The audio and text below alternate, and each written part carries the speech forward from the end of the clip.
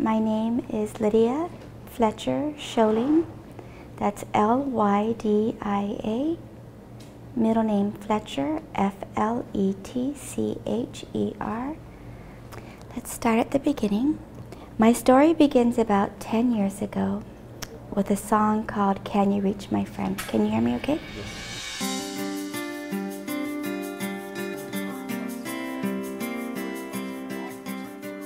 My sister-in-law invited me to listen to a new radio station on island and um, we stayed up all night waiting for the song to play.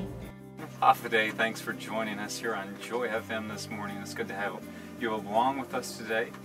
Uh, we've got some good news from God's Word coming up in a few minutes, so stay with us. Hey, As Lydia listened to the radio, her song came on. Then the next program began, and the next. She remained glued to her radio. In the following weeks, Lydia repeatedly tuned to Joy FM Adventist station. What she heard filled her heart with encouragement and hope. Through Joy FM, Lydia began receiving Bible study guides.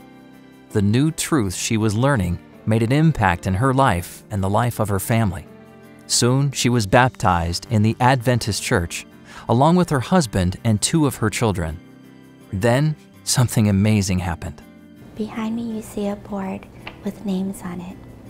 Our study started just one-on-one with myself and Charlene, the one in red. She was my daughter's classmate and was really searching for truth. So I said, hey, so why don't we just get together and study and we, maybe we can answer some of the questions that you have. Well, the one-on-one group grew to six, six attendees and the six of us studied Steps to Christ. For 13 beautiful weeks, we went through chapter by chapter, and God moved in our lives, and there was a closeness to Christ that we had never shared or never knew before. As Lydia's group realized the power of transformation that came from studying about Jesus, they were impressed to begin another study with even more women, and they started making plans. I thought I knew what study I wanted to give. In fact, I was sure of it. I had counseled God, I had advised Him, I had told Him exactly what direction we needed to go. But the Holy Spirit kept nudging Lydia's heart towards a different study. Lydia resisted the suggestion and put it out of mind.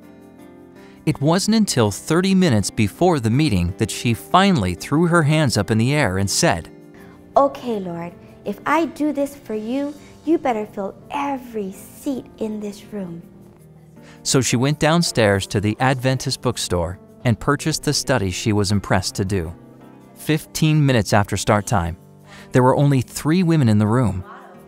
Lydia thought that God was teaching her a lesson to be more reverent in her request to Him. It's then that something happened. Five minutes later, the door downstairs opens.